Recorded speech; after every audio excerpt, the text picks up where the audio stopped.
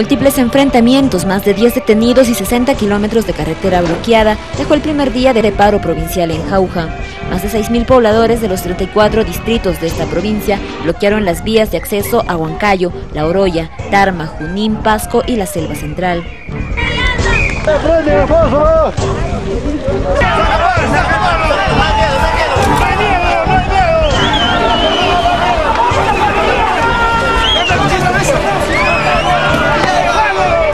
Bloqueo de las vías inició desde las 11 de la noche, sin embargo la policía de varias comisarías y unidades mantuvo despejada ambas márgenes de acceso a Huancayo y al resto de carreteras hasta casi las 8 y media de la mañana.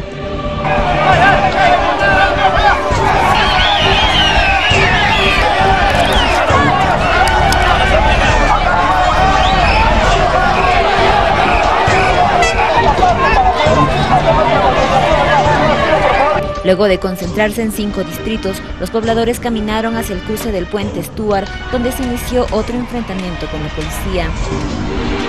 Hoy nosotros nos levantamos para defender lo que es de Jauja y lo que es de nosotros, lo que ha dejado nuestro antepasado. Y no vamos a permitir que ciertas personas que ni siquiera han valido, pero sí para mentirnos, para robarnos un voto. Así es, como dice, con su bonita cara, con su bonita boca, que nos vinió a prometer los manifestantes avanzaron bloqueando la carretera hacia Huancayo con piedras, postes de madera, botellas de vidrio y hasta montículos de tierra.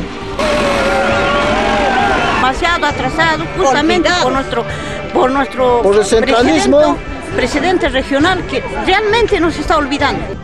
La población de Jauja protesta por el desconocimiento del Decreto Supremo 020-2011 que declara la necesidad pública e interés nacional de la modernización e internacionalización del aeropuerto Francisco Carlé, a cambio de un nuevo aeropuerto en el distrito de Orcotuna. Nuestro aeropuerto que haga realidad, porque hace tiempos nos obstaculizan, nos no quiere que apoya, no quiere que progrese el Jauja, a pesar que es la primera capital del Perú, lejos de apoyar el presidente Vladimir Cerrón, no sé qué es lo que quiere. Jauja se prepara para su segundo día de paro, mientras la policía incrementaría el número de agentes que ahora superan los 500 efectivos.